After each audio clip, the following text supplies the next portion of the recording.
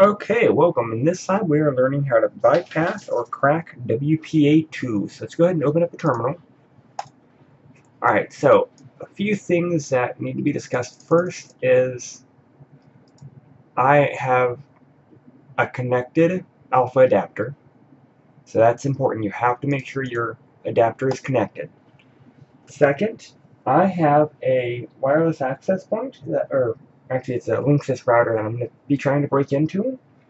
And I currently already have a machine connected to it and I'm having it pass some traffic to and from it.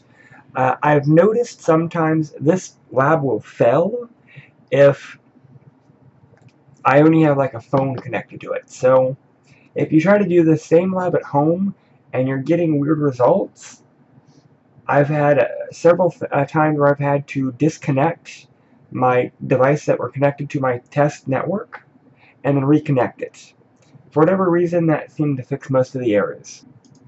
Alright, next, I actually want to go to my files. So here are some of the WPA cracks from before. I'm going to go ahead and delete those. I'm going to keep move this guy downstairs so that you can see my terminal window. So let's go ahead and let's get into Airmon. Airmon. Let's start our WLAN 0. That should wireless card. That should give us if our adapter is there. If our adapter is not showing up here, then our adapter is not connected. So we need to make sure that our adapter is connected to our environment. So once you've done that, let's go ahead and get ifconfig. We want to get our adapter into monitor mode. So we have to bring down the uh, adapter, iwconfig, again, what adapter are we working with? WLAN 0 mon, mode monitor. That will put this card into monitor mode. Then we have to bring back up the card. WLAN 0 monitor up. That allows us to bring down the card, set to monitor mode, bring it back up. That way, our wireless card now is in monitor mode. It's kind of important because if your card is not able to go into monitor mode, this next part of the lab will not work. So I'm going to do arrow dump hyphen ng on my interface. If your adapter did not go into monitor mode, you will not get any of this. So we need to do is we need to find the appropriate access point that we're targeting. There is my access point, so I'm going to go ahead and Control Z to, to terminate it. I'm going to open up a second terminal window because I want to do some deauthorization. I want to be able to generate some traffic on that access point copy the BSID or the MAC address of the access point that we're going after. And we're going to go arrow dump, have it ng. We will do BSID,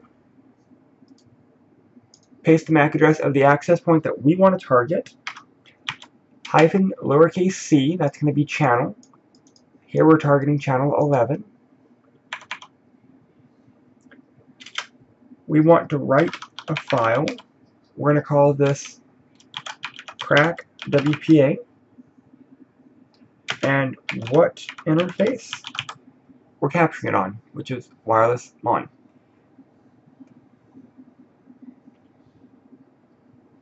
Oh,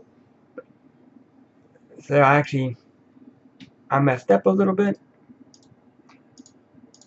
got ahead of myself. I want to run it in this window. so this will allow us to pinpoint the access point that we're looking at. And you'll notice it capture some data. And it's just looking for that one. You'll also notice it starts generating some CAP file, the CSV file, some other items we actually are interested in seeing how much data we're able to capture and if we've able to capture a WPA handshake. So again, what I want on the second terminal window is I want to do my deauthorization. So I'm going to area plane hyphen ng deauth 10. That means I'm going to send 10 deauth signals to the access point, which should then kick off everyone from it. I'm going to do hyphen A, that's going to be my target. We could actually also specify a client with a hyphen C. So if we knew both the target and the client, we could do that. But in this example, we're just actively looking at the access. And again, the appropriate interface.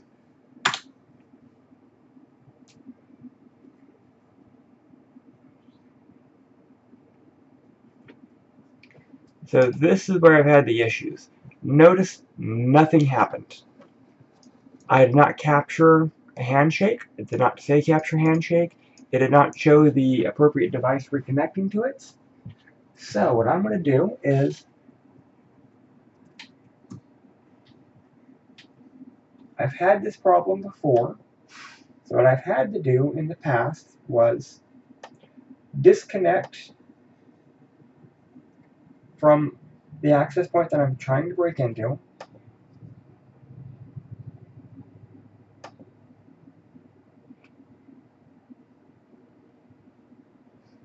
and reconnect to it. So this is where this lab gets complicated. If you did this lab already and it fails, meaning you do not get this part right here, and you do not get this part up here. Disconnect your device connected to your access point and reconnect it. What ends up happening if you're trying to do this lab several times in a row, sometimes the access point never really kicks off anything from it.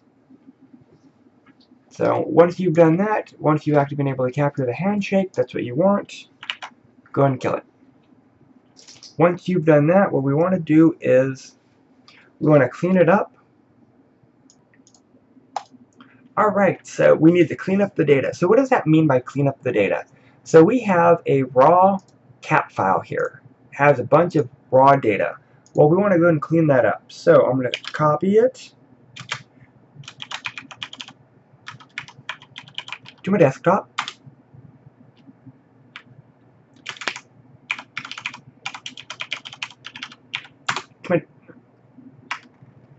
crack. Oh, helps if I actually write out the entire command. So I named it crack WPA hyphen 01 dot cap. You have to tell it where you're copying it to. Yes, I could have just drag and dropped it over there as well, but I want to navigate to my desktop.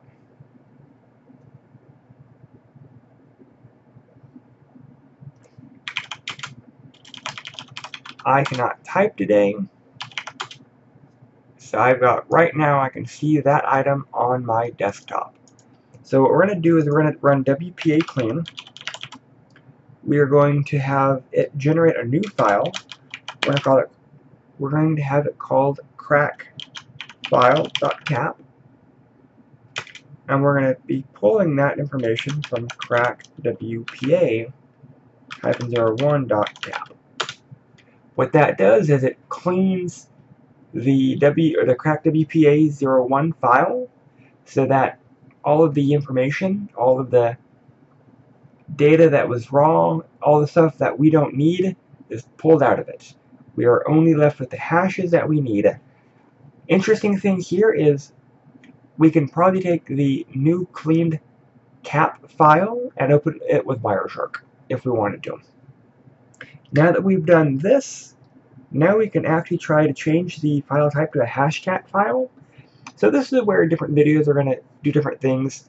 I'm using a hashcat to try to break the password, Other people can try to just do it directly off the cap. So this is just kind of dependent on how you want to have it done. In this instruction, we are doing it with Hashcat, so, so let's go ahead and do air crack ng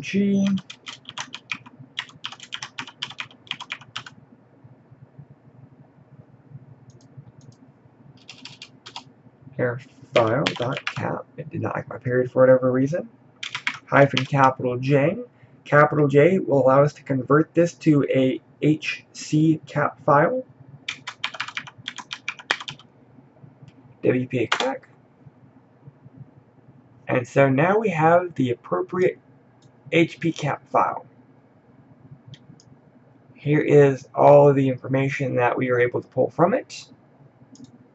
And we are almost done. The last step is running a word list or a password list against our HCCAP file. I already have a word list, so I'm going to run. So let's go and clear the screen, and let's go ahead and do our hashcat. Hashcat.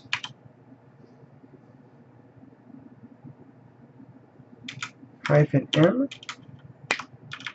2500. Give it the location of our HCCAP file, which should be desktop. Wpa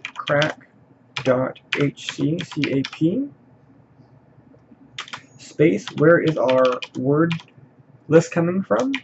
We have to save it on the desktop. It's called password